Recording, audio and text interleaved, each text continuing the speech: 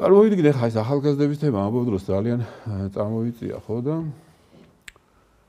სულ როდესაც ახლა იძახიან ხოლმე რომ პრორუსული იყო ეს ხელისუფლება და მე ყოველთვის მაგაში ფიქრობდი რომ არ იყო ეს პრორუსული ხელისუფლება უბრალოდ ну ისეთი მიდგომები არ ქონდა რა თქმა უნდა როგორც ახლა და 2012 წლის არჩევნები ჩემი აზრით მარტო ძალადობის წინააღმდეგ გამოსვლა არ იყო. ეს იყო კიდე ის რომ რუსეთთან ურთიერთობაშიც ისეთი ამბებიც აღარ გამეორდეს. ეს ორი ძირითადი გზავნილი იყო იმ ფაქტიურად რევოლუციის თემა რა. ხო ეგრე იყო? 12 წლის კი. 12 ორი იყო, აღარ გვინდა ძალადობა და არც რუსეთთან ურთიერთობაში ისეთი რაღაცა გაუგებარი ნაბიჯები, როგორც ეს ორი შეკვეთა იყო, რაც ხალხმა მოიტანა, მაგრამ რა რიცი ხარ რა შეასახე? როდესაც ეს ხო ფაქტობრივად რევოლუცია იყო, ხო? რა თქმა უნდა.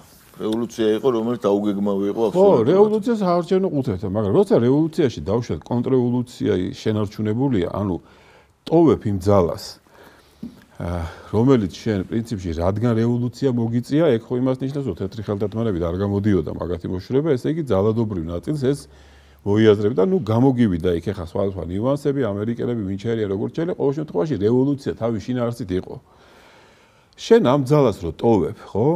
მერე თუ ამას არ ბოლომდე არ ანადგურებ, ახლა მე ფიზიკურ განადგურებას არ გულისხმობ, ანუ ის თუ არ გაკავს. როგორც პოლიტიკურ ძალას ამას არ თუ თუ არ გაკავს, მერე დრო რო გადის მithumedes შენ არ ქვეყანაში ეს დრო ხო შენ სასარგებლოდ არ მუშაობს არა?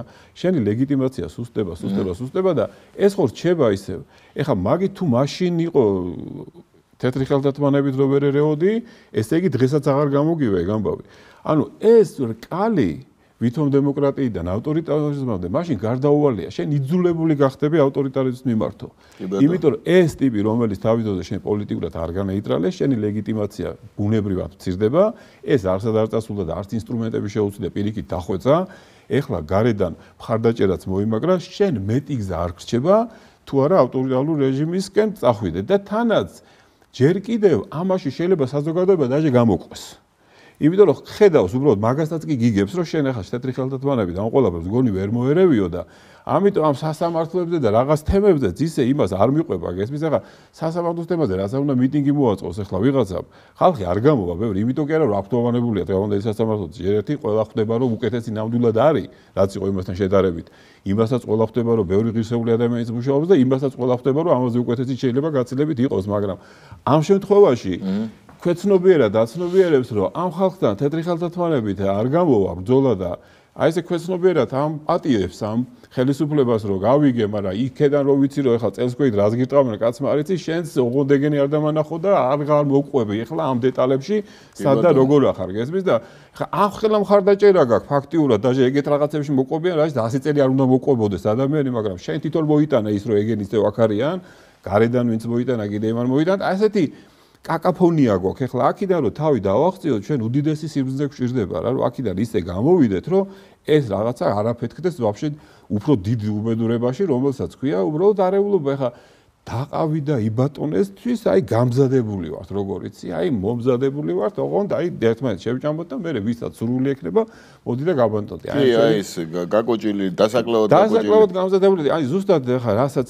ჩვენ მე ვილაპარაკე აი ინდივიდუალიზმის ამ ვითომ თეორიებით რაღაც აი დაშლის პროცესი არის აბსოლუტურად წასული. შენ ორი ეთიკის სხვადასხვა ერი ჩამოაყალიბე უკვე ერთმანეთის იმხელა სიძულვილით ხო რომ აქ არის ერთადერთი რამე დარჩენილი სულ ფიქრობ ამას. ახლა აი ტელევიზიაში რომ მოვედი ხო შენთან ყველა ახალ ტელევიზიას მივესალმები ხანდახან ვფიქრობ რომ ოპოზიციურ ტელევიზიაში ხო სიგიჟია თითქმის აი სხვა ტერიტორიაზე წასვლა გონება აი ვფიქრობ ხანდახან რომ იქნებ ჯობდეს რომ წავიდე და აი პოლიტიკოსებთან ლაპარაკს ჯერ აზრი არ აქვს. აი იმ მოსახლეობას რაღაცა უნდა გაუგზავნოთ. იმიტომ რომ მე სულ როდესაც არის ხოლმე საუბარი ამ დაუშვათ ნაცმოძრაობას თუ ამათ ხო მარტო ლიდერებზე არ ვფიქრობ რა ეგ წარმოგიდგენ რამდენი ხალხია იქეთ ხარდა რა ნიშნობა ხა 200000 300000 500000 ეს ხო შენი ქვეყნის მოსახლეობაა.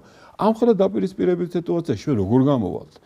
იმ ხალხმა თუ არ გაიგო რამე ამათმა მხარდამჭერებმა ხო? ამათ უკვე არაფერი ვაღარ ესენი უკვე ჩაკეტილები არიან და ესენი თავის სოფხედულური პარადიგმაში არიან და ასე ადვილად ეს არ შეიცვლება ისინი ანუ პოლიტიკოსებს შორის დიალოგი უკვე ახლა გამორიცხულია ერთადერთი შანსი არის დარჩენილი საზოგადოება თუ მოახერხებს. აი თვითონ ის წიპები არ არის რომლებიც უშუალო შარტო აი თვითონ საზოგადოება რაღაცნაირად თუ მოახერხებს ერთმანეთთან რაღაცა კავშირების გავმას თორე ესენი ერთმანეთს შეჭამენ ახლა და სანამ ერთი მეორეს არ შეჭამს აქ ეგა გამოსავალი ამას არა ხვდები